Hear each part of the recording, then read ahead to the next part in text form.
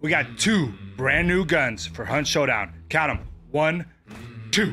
First, we got the Caldwell Marathon, a pump action light rifle.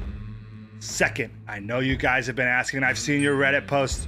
It's here, guys. Long ammo, lever action rifle, the Mako 1895 carbine. It's here. It's happening. It's happening. An air duct. Oh my god! Okay, it's happening. Everybody stay calm. What's the Everybody procedure, everyone? What's the procedure? Stay calm. Calm down. Okay, let's check these two babies out. If you've made it this far, like, share, subscribe. If you want more hunt content, let's check them out.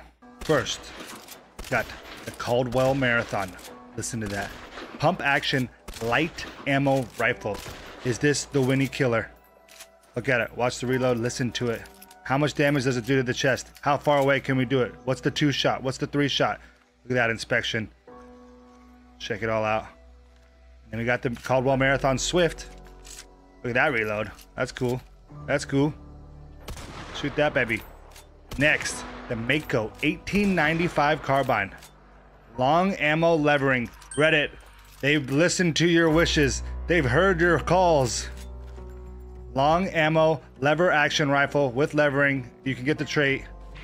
Is this the Mosin killer? Is this the new meta? Is this the Lebel? Is this everything that you've ever wanted, guys? Is this six star meta? Uh, so we got the claw variant and we got the aperture variant. And we have Desolation's Wake, March 6th, this Wednesday. Pause it. March 6th, this Wednesday. I'll be live on Twitch, YouTube, Kick, and TikTok. All four platforms, whatever you want to watch me on. Let's get involved. Let's get the Desolation's Wake going. Let's get the trains. Let's get the new Legendary Hunters, the new guns, the two new guns, baby. We're in a long ammo lever, and we're going to dominate the competition. Follow, like, share, subscribe.